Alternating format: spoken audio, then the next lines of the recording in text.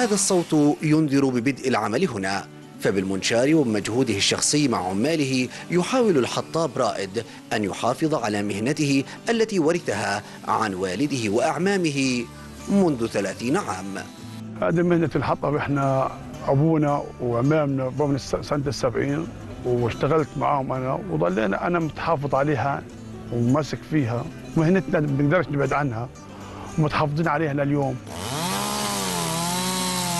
مهنة التحطيب هذه عاشت عصرا سابقا كان الأجمل في تاريخها لكن الواقع الصعب في غزة أثر على كل من يعمل بها.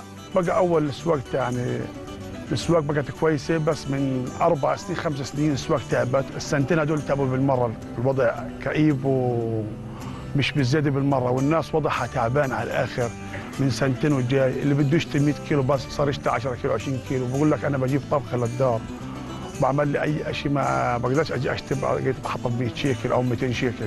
الحطب أسعاره نزلت أكثر من نص والسواق نايمة بالمرة لها يعني والوضع تعبان على الآخر. الواقع الاقتصادي الصعب لم يكن المؤثر الوحيد على المهنة بل التوسع العمراني كان له دورا كبيرا. في ذلك مهنة على مشقتها إلا أنها تشكل للعاملين فيها جسرا لهم للهروب من شبح البطالة وهي ذاتها التي يحافظون عليها من الاندثار. محمد أبو ناموس الغد غزة فلسطين.